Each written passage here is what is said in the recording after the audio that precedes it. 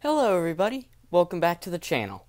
In today's video I'll be discussing with you how you can attract blue jays to your backyard.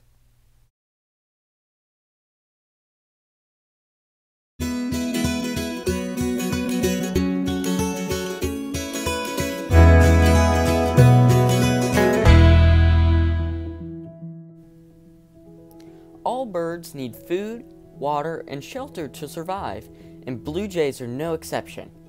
Blue jays will eat almost any food offered at bird feeders, but their favorite foods are peanuts, cracked corn, and sunflower seeds. Offer these foods year round to better attract the blue jays. Blue jays are large birds and prefer to eat on larger feeders that fit their feeding habits. Blue jays generally eat in trees, so by offering foods and special feeders that fit their feeding habits will give you the best chance of attracting these jays to your feeder. To give the blue jays water, try putting out a bird bath. Blue jays are fairly large, so a good depth for them are from about 3 to 5 inches deep.